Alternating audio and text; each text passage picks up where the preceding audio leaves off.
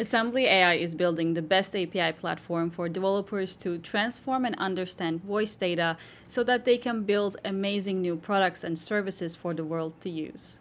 You can transcribe your audio data with Assembly AI or get a speaker labeled version of your transcription, but you can do much more. You can get a list of topics discussed, whether there was any flagged content in there, whether there was any personally sensitive information in there, or the sentiment of each of your files. You can also use an LLM through Assembly AI seamlessly by using our LeMUR endpoint.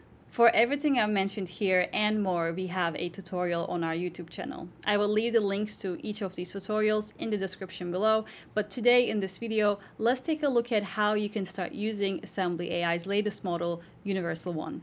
All right, let's get started. So all of the code that I'm using here is available on the Assembly AI docs. So if you just go to assemblyai.com slash docs and go to the speech recognition section, you will have access to all of the code that I'm building here.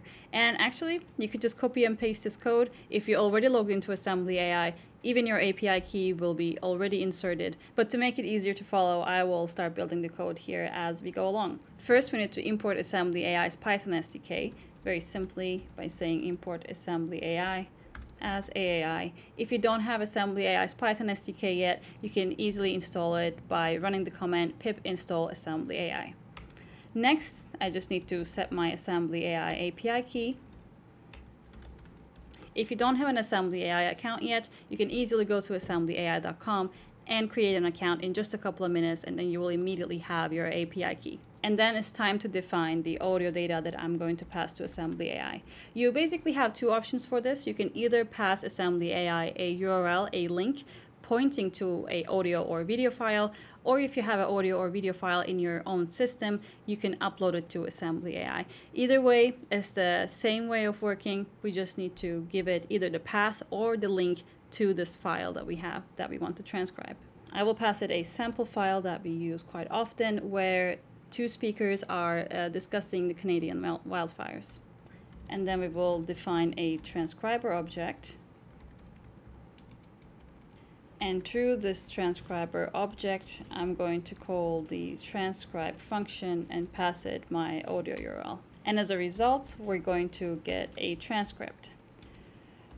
So let's print this transcript first the response to the transcribe function includes more than just a transcription text. It includes some extra information. So if you just want the text of this transcription, we just need to call transcript.text. So let's run this example and then take a look at what the transcription looks like. Then I'm going to show you some ways of customizing your output with Assembly AI. So this is our transcription. As you can see, it is already finalized. It has punctuation, it has capitalization of the first letters, and also proper nouns. Let's take a look at some ways to customize our Assembly AI's API call. So first of all, how can you use Universal One, Assembly AI's latest model? Well, fortunately, Assembly AI's API by default uses Universal One's best tier. So when you're calling the transcribe function on the transcriber, you are automatically choosing to use the best version, the best model Assembly AI has to offer. If you have a use case where you do not need the best tier speech recognition, instead you just want to do some bulk transcription for even a better price, then you can use the nano tier of Assembly AI. So let me show you how you can do that here. So for that, we're just going to have to pass a config argument, a configuration argument to our transcriber. So I will call transcription config here, and then I will specify the speech model.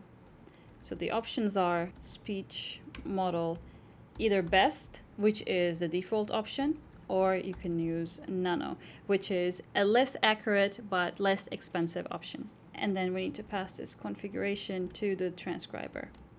We probably won't see a big difference in the example right here in front of us, so I'm not going to run this one, but I will show you some other configuration changes that you can make. For example, like we said, in the transcription that we got, we already have some styling, right? We have the punctuation, we have the capitalization of the relevant sentences and the letters. If you want, you can turn this off. For that, you just need to set punctuate to false, which is by default true, and formatting, format text to false. And then let's run this example again and see how our, our transcription is different this time. All right, let's take a look. We do not have punctuations unless it is absolutely relevant and we do not have the capitalization or any other formatting of the text. So if you want only the raw text, that's the way to go. Assembly AI by default transcribes the files assuming they're in English. But if you have a file that is in another language, you can set your language manually on Assembly AI. For that, you just need to make a new line on your configuration and say language code to, for example, Spanish. You can find all the languages Assembly AI supports on our documentation. If you don't know the language that your audio file is in, or you don't want to manually pass it to Assembly AI, you can also set automatic language detection to true. Let's see this in an example. So now I will pass a audio file that's in Spanish to Assembly AI, but I want the text to be punctuated and formatted, and I want to use the best possible tier from Assembly AI. So let's run this and see. Let's take a look at the results without us specifying to Assembly AI that this audio file was in Spanish, it understood that it was in Spanish and it gave us a transcription all in Spanish. And I know in this audio file we have multiple speakers, so let's try to get Assembly AI to get us the speaker labels. And once again, all I have to do is to add one line where I will set speaker labels to true. But this time, instead of just printing the text, we need to print the results of the speaker diarization. All right, let's try this out. Let's take a look at our results. So this is basically a street interview kind of video. So that's why you can see we have a lot of different speakers.